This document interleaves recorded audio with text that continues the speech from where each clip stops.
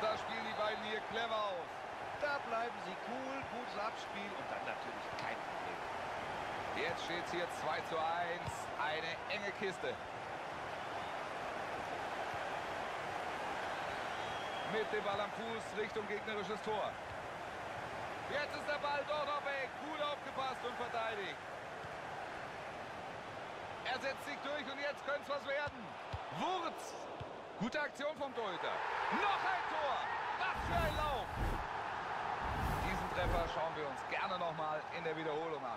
Im zweiten Versuch machen sie hier das Tor.